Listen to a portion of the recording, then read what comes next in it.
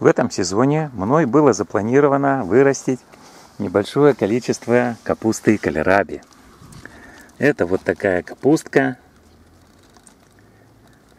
Сорт я выбрал на пробу для выращивания в этом сезоне. Венская белая 1350. Что можно сказать про этот сорт? Сорт неплохой. Вот капустка выросла довольно такая крупненькая. Вкус еще пока оценить сложно, мы не пробовали, но я думаю, на вкус она должна быть очень неплохая. Эту капусту я сеял непосредственно семенами сразу в грунт, где-то в начале мая. Потом она немножечко подросла и уже рассаживал на грядку. Единственное, что получилось, я и не планировал выращивать этой капусты много. Но хотел, ну, скажем так, плодов так хотя бы 3-4 попробовать вырастить. Но, однако, уцелел у меня только один единственный плод. Вот он. Один ушел в стрелку, а второй тоже пошел непонятно во что, в стебель. И так, в конце концов, стеблеплод не завязался. Возможно, тут виновата погода, возможно, немножечко некачественные семена. Судить теперь уже сложно.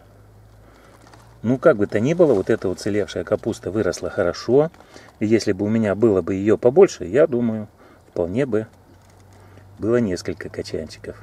Эту капусту рекомендуют убирать, когда она не очень крупная, поэтому я не буду дожидаться, когда она уж совсем станет большая.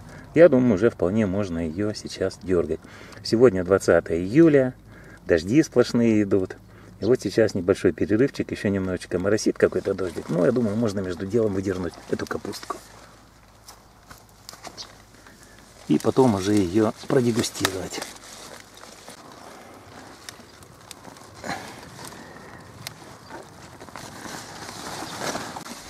Вот капуста венская белая, кальраби. Сегодня будем ее дегустировать. Поскольку хранить долго ее не планируем, лишнее будет обрезано, и сразу она будет пущена в дело. Но если хранить ее несколько подольше, как некоторые делают, то ее можно хранить в погребе в песке. На вид капуста очень симпатичная, плотная очень, красивая. Вот такая капуста венская, белая, 13,50.